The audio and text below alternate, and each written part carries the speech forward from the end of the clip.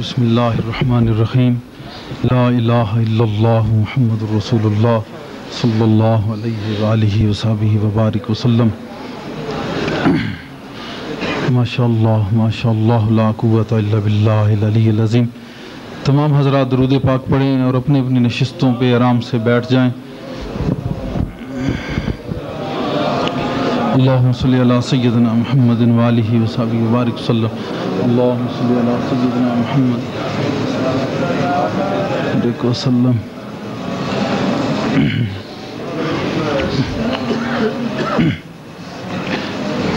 सब तारीफ़ें अल्लाह पाक जल्ला शाहू के लिए, जो रब्बुल आलमीन है सब जहानों की, सब मखलूक़ात को पालने वाला और हर मखलूक़ात के मिजाज के मुताबिक उसको रिज्क फराहम करने वाला।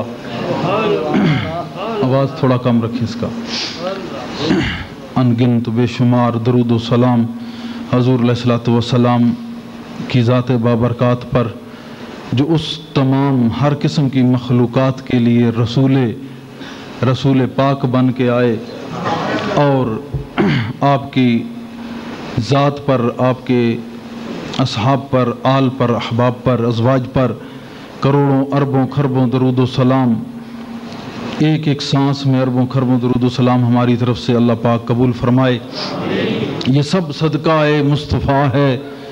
ये सब हजूर सलाम की मेहरबानी है। आपका करम है कि हाजरीन मोहतरम सामीन मोहतरम और नाजरीन मोहतरम हम एक दफ़ा फिर अल्लाह के घर में मौजूद और हजूर गौस आज़म की महफिल में मौजूद अल्लाह के ज़िक्र के लिए हाज़िर हुए हैं, उसके महबूब को याद करने के लिए। सिलसिला ख्वाजा जुनैद बगदादी का सिलसिला तसवफ़ के सिलसिले में ये तकारीर, ये ख़िताब और ये बयान, बल्कि आयजाना कलाम आप समझें नाचीज़ की तरफ़ से, बारगाह गौसियत माब में गर कबूल उफ्त जहर नसीब। ये सिलसिला शुरू किया है, मगर बात वही फिर आती है कि ये साढ़े नौ बजे से या नौ बजे से ये महफिल पहले नमाज़ का टाइम भी मुसलसल बैठे रहे लोग। तो तीन घंटे के करीब ये अरसा तो ऐसे गुजर जाता है। मुझे इस चीज़ का बहुत ख्याल आता है और जब भी बात ये जेन में आ जाए कि कोई आदमी थका हुआ है या उसकी तवज्जो इधर नहीं है, उस वक्त अपने जो कलाम है, उसका मामला गड़बड़ हो जाता है। क्योंकि फकरा का तरीका ही यही है कि जिसने तलब किया, उसने पा लिया। तो जब आपका ध्यान सही टेंशन जो है इधर नहीं होगी तो फिर टेंशन होगी। तो तीन घंटे से इन्होंने अटेंश अटेंड रखा। तो बात ये होती है कि हजूर सलाम की तारीफ़ हो रही होती है तो उसमें बोलना तो ये बहुत बड़ी गुस्ताखी बन जाती है। इस वजह से, लेकिन तमाम लोगों को ये चाहिए कि जब भी महफिल शुरू हो, अरशद साहब तशरीफ़ ले आएँ तो उस वक्त आके अपनी अपनी नात का जो नजराना है बाजूर सरवर कौनैन अलैहि वसल्लम, पेश कर दिया करें।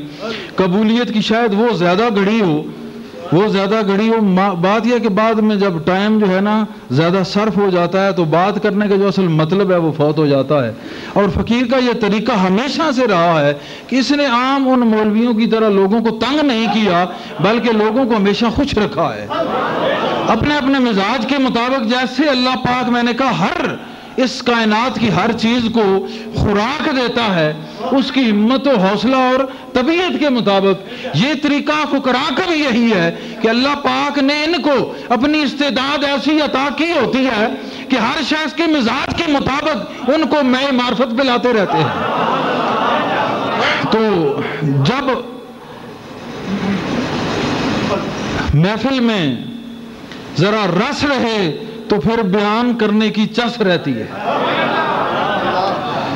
बहरहाल हजूर सल्लल्लाहु वसल्लम का ये महीना महराज शरीफ का महीना, रजब, शाबान और रमज़ान तीनों मुकदस महीने अल्लाह पाक ने ऐसी तरतीब दी है कि पहले महबूब को महराज कराया, उसके बाद हजूर सलाम के लिए मखसूस है शाबान का महीना, और उसमें लोगों की बारात के मतलब फरमाया और आखिर में फिर रमज़ान अता किया और करके ये बता दिया कि ये मेरा महीना है। महबूब, पहले भी तेरी बात, दरमियान में भी तेरी बात और आखिर में मेरा जो महीना है, ये भी तेरे नाम। ये भी तेरे नाम कर दिया। सब बात मोहब्बत की है, क्योंकि मेराज भी मोहब्बत का है। अब ये मैं कह रहे थे ना कि वो रूहानी मिराज है या जिस्मानी मिराज है। मैं ये एक बात कहता हूँ, ये तो है ना कि शाबान अल मुआजम को रजब, बुल मुरजब को, हजूर सलाम को जो मेराज हुआ, ये मुसलमान का कीदा जो है, वो ये है कि बजसद अतर से हुआ, जसद हुआ। जो इसके खिलाफ कहे, वो तो कुरान करीम के खिलाफ चला गया ना। सुबहान असरा बेअब्दी पाक है वो जा जिसने अपने बंदे को सैर कराई, अपने उस प्यारे प्यारे गुलशन की। तो एक मखसूस महराज करवाया तुम सब लोगों के लिए और यारानी तरीकत को बताने के लिए कि जो अल्लाह के महबूब होते हैं, उनको वो महराज कराता है। हजूर सल्लम की उम्मत में जुनैद बगदादी जिनका ये वाक्य चल रहा है, एक लाख नाइन्टी नाइन, यानी निन्यानवे हज़ार अल्लाह की जियारत की है। ये हजूर के उम्मती का मकाम है। हजूर का मकाम क्या होगा? हैरान कन बात है कि जसदी या रूहानी है? हैरान कन बात है कि एक बंदा एक पढ़ के बड़ा अपना गर्क कर रहा है। क्या इलम पढ़ा? कि पता ही नहीं कि जसदी है या रूहानी है। अरे सरकार का गुलाम अगर इतनी दफ़ा, चले उनको छोड़े, अबू हनीफा सबके सबके उनके पैरोकार हैं। मुकलद हैं उनके। सत्तर बार गालबन, या बहत्तर बार आपको ज़रूरत बारी ताला नसीब हुई। तो ये मेराज से कम है। हजूर के नालैन को उठाने वाला मेराज करे तो असल ही हो जाता है। तो सरकार का मेराज तो अपने घर की बात है। जब जी चाहे मेराज हो गया। क्यों?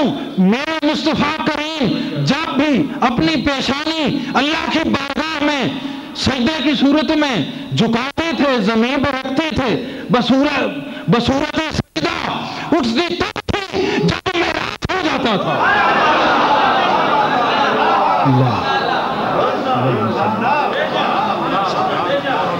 कोई सजदा मुस्तफ़ा कराएगा नहीं है, अगर समझोगे, ईमान से दफ़ा हो जाओगे। कोई सजदा मुस्तफ़ा का खाली नहीं है, सल्लल्लाहु अलैहि वसल्लम। जब भी वो पेशानी जबीने नूरन अला नूर झुकी है, जब उठी है तो महराज करके उठी है? यह तो एक जाहरी महराज था, ताकि दुनिया वालों समझ लो कि महबूब को यूँ सैर कराई जाती है। जाहरी तौर पर न कराई जाती, न शान मुस्तफ़ा में फ़र्क आता, न शान खुदा में फ़र्क आता।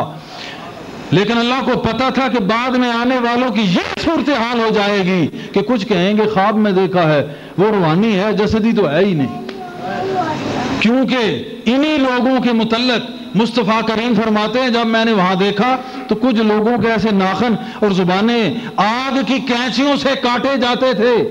काट रहे हैं, पूछा, कौन है? फरमाया, आखिरी जमाने के वो उलमा जो करते और होंगे, करते और होंगे। क्योंकि इन्हीं के मुतलक ये फरमाया गया, इन्होंने तो कहना है कि ये रूहानी है।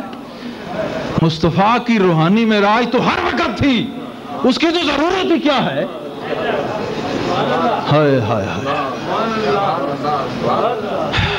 हजूर सलाम हमेशा अपने दिल पे बातसवर रहते थे और हमेशा अपने सांस को अल्लाह के ज़िक्र में रखते थे। और ये एक फकीर का जब एक एक रूआ रूआ और लू लू अल्लाह के ज़िक्र से मुनवर हो तो वो मुस्तफ़ा की बात है। खिलाफ तुम कह रहे हो? किसकी बात कर रहे हो? बेड़ा गर्क अपने ईमान का कर रहे हो। वो तो प्यारे मुस्तफ़ा करीम की बात है। और या अल्लाह का बेशुमार और मुतद लोग ऐसे गुजरे हैं। हमारा तल्लक ही खानवादा फुकरा से है। जुनाब के मतलब अगर कहूँ तो ये भड़ाई और उसकी बात नहीं है। बतौर एक समझे कि मुरीद या बतौर तालब मैं एक बात कह रहा हूँ कि जब बाद अवकात में जुनाब का जो जसद अतर है, इसके कई टुकड़े देखे हैं। ये तो फकीर और खादम दर खादम का ये हाल कि उसके जिसम का एक एक टुकड़ा जुदा हो, किसमें? अल्लाह के ज़िक्र में। और वो नूर अला नूर सिराज सालकिन। और नूर मुजस्म और सैदुलम्बिया सैदुलमरसलीम और फिर महबूब खुदा माशूक इलाही आश के खुदा उसकी बात है जुदा।